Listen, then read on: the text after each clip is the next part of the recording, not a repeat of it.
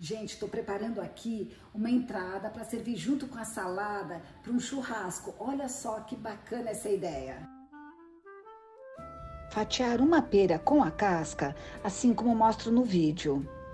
Colocar em uma frigideira duas colheres de açúcar demerara e assim que derreter, colocar a manteiga, mexer e colocar as peras neste caramelo. Abaixar o fogo e mexer até elas cozinharem no caramelo uns dois minutos. Abrir com as mãos as burratas e distribuir em um prato de servir. Colocar as peras caramelizadas por cima das burratas. Salpicar de pistache picado e colocar folhas de rúcula por cima. Distribuir pedaços de presunto cru por todo o prato.